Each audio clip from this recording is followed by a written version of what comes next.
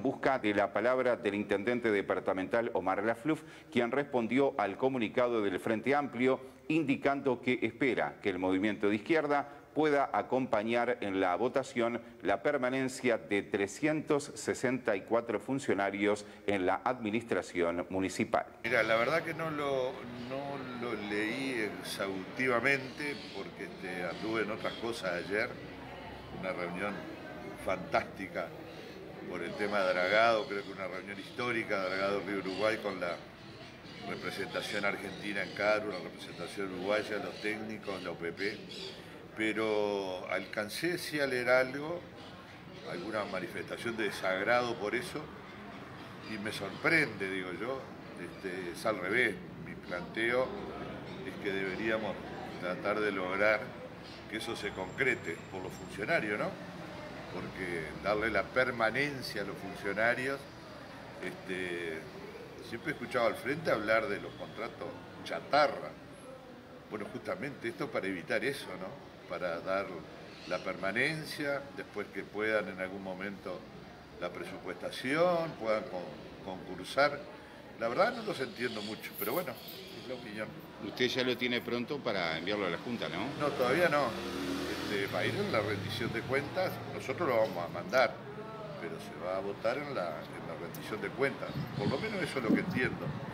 Y, este, pero sí estamos trabajando en la lista y lo más antes que lo podamos mandar, lo vamos a mandar. ¿Lo cotejó con Adeón por el tema de las faltas? No, lo cotejamos con Adeón por varias cosas, digo. Una, porque este, eh, siempre tenemos una buena relación con el gremio, el gremio ha participado, este, algún número más, algún número menos.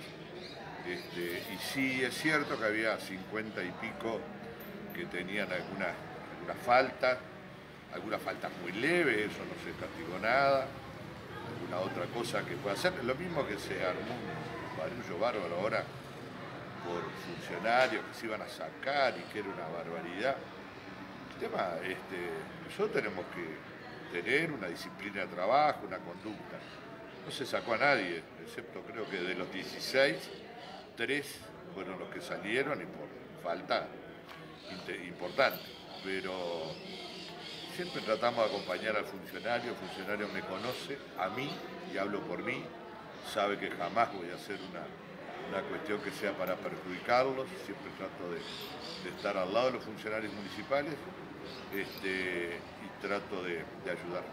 Intendente, había cierta preocupación por el acuerdo con ASP Bolivia como que venía lenta la mano la unidad de transferencia. ¿Ha podido establecer contacto con ANP para saber cómo está ese tema? No, acá siempre quedó claro, lo de Bolivia fue un acuerdo marco este, para todos los puertos. Nosotros aspiramos, por supuesto, que tenga la mayor importancia el puerto de Fraiventos, pero este, el tema del puerto de transferencia, del barco de transferencia, digamos, bueno, es un tema de la ANP, que sé que el capitán de puerto lo está trabajando con ellos, pero hay que tener claro que fue un acuerdo marco, después hay que agregarle contenido a ese acuerdo.